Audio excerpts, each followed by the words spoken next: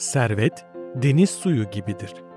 Ne kadar çok içersek o kadar çok susarız ve aynı şey şöhret için de geçerlidir. Zihninizi sessizlikte bulmak, konuşurken bulmaktan daha iyidir. Neye sahip olduğumuz hakkında çok az düşünürüz. Ama neye sahip olmadığımız hakkında sürekli endişeleniriz. Hayat, gençliğin perspektifinden sonsuz bir gelecektir. Yaşlılığın perspektifindense kısa bir geçmiştir. Mutluluğun yüzde doksanı sağlığımıza bağlıdır. Eğer bir düzine koçun seçkin bir kişiyi küçümseyerek nasıl azarladığını duyarsak, o zaman insanların fikirlerine çok değer vermenin onlar için büyük bir onur olacağını anlarız. Her insan yalnızca yalnızken tam anlamıyla kendisi olabilir. Her insan dinlenebilir. Ancak herkes konuşacak kadar değerli değildir. Sağlık, hayatın diğer tüm nimetlerinden o kadar üstündür ki, sağlıklı bir dilenci, hasta bir kraldan daha mutludur. Akıllılar, aptalların yarattığı gürültüden kaçtıkları için yalnızlığı aramazlar. Hayvanlara olan sevgi, karakterin nazikliğiyle o kadar yakından ilgilidir ki, hayvanlara karşı zalim olan bir kişinin nazik olamayacağı söylenebilir.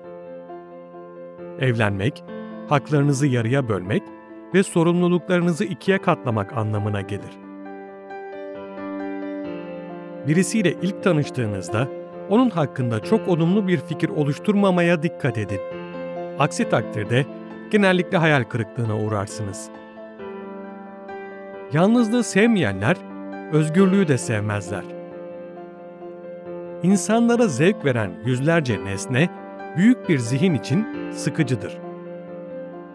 Bir kişiye bir kez güven sarsıldığında sonsuza dek kaybolur. Boş bir kişi, başkalarından bu şekilde edindiği iyi fikirleri konuşkanlıkla değil, sessizlikle yaratmanın çok daha kolay ve doğru olduğunu bilmelidir. Mutlu yaşamak, daha az mutsuz yaşamak anlamına gelir. Diğer insanlar gibi olmak için kendimizin üçte ikisini kaybederiz. Akıl, hiç sahip olmayan kişiye görünmez. Tüm umudunu yitiren, tüm korkusunu da yitirmiştir. Birinin size yalan söylediğinden şüphelenmek için bir nedeniniz varsa, söylediği her kelimeye inanıyormuş gibi davranın. Bu ona devam etmesi için cesaret verecektir. İddialarında sertleşecek ve sonunda kendini ele verecektir. İnsanların sosyalliği toplumu sevmelerine değil, yalnızlıktan korkmalarına dayalıdır. Dikkatsizce yazan kişi, bu suretle kendi düşüncelerine daha fazla önem vermediğini en başından itiraf eder.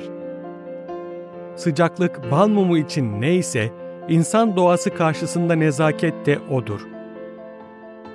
İnsanlar, nedenini bilmeden başlayıp çalışan saat mekanizmaları gibidirler. Kader kartları karıştırır ve biz oynarız. Hemen hemen tüm üzüntülerimiz diğer insanlarla olan ilişkilerimizden kaynaklanır. Düşmanınızın bilmemesi gereken şeyi dostunuza söylemeyin.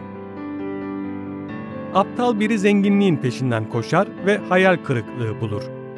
Bir bilge sadece kederden kaçınır.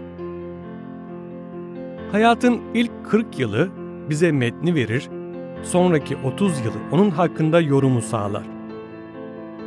Dünyadaki birçok büyük insan böyledir. Ancak hayatta olmadıklarında tanınırlar.